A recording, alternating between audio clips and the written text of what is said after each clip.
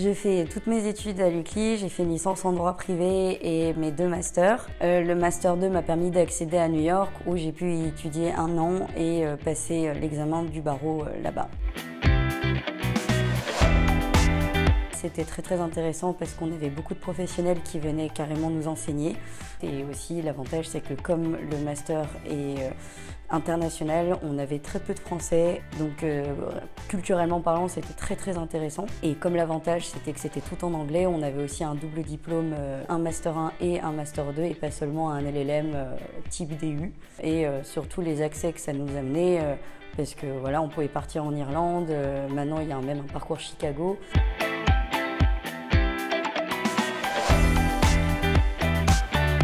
Alors c'était très différent, c'était pas ma langue natale. Il y avait beaucoup de matières que j'avais jamais vues en français, donc euh, ça a été euh, pas mal de difficultés de ce côté-là. Après, on avait eu quand même de très bons profs qui nous préparaient au barreau là-bas. Donc ça a été euh, deux mois de travail très intense qui en valaient la peine à la fin. la prochaine étape pour moi, là, c'est de trouver un travail en France. J'ai eu pas mal de stages à l'étranger, notamment en France et à New York. L'avantage, c'est qu'avec euh, ce parcours euh, de droit international et de droit des affaires, j'ai pu trouver des stages beaucoup plus rapidement en attendant d'avoir le statut d'avocat.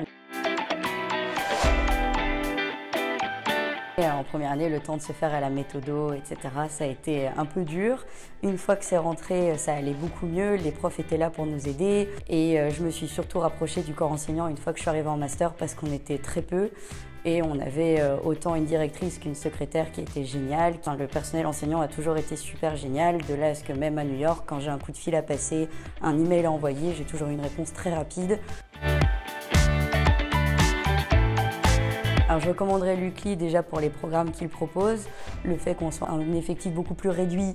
Euh, ensuite, le corps enseignant est vraiment génial. Les masters qui sont proposés sont très bien, ils sont originaux, ils permettent d'avoir un double diplôme. C'est vrai que c'est très enrichissant et ça permet d'évoluer dans la vie en, sortant un peu euh, du programme classique de droit français.